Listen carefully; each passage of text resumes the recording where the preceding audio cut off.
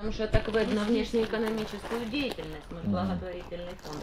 Здесь мы, да, здесь мы покупаем. А если вам, например, дают за границей там? А если нам дают за, за границей, он составляется 48 актов, передаем только под акты, отчитываем Ага. больницам, подразделам, только Look, под if, if somebody gives money, for example, uh, it's difficult buy somewhere, um, for example, in Europe, in USA, and also because price will be m- more than in Ukraine. In Ukraine, you can Тут uh, даже buy не в прайсе already. дело. Тут вопрос, тут вопрос в том, что для того, чтобы мы могли покупать препараты официально за границей, у нас должен быть КВЭД, внешнеэкономическая Ah, and деятельность. also, this they need special documents to buy medicine in another countries.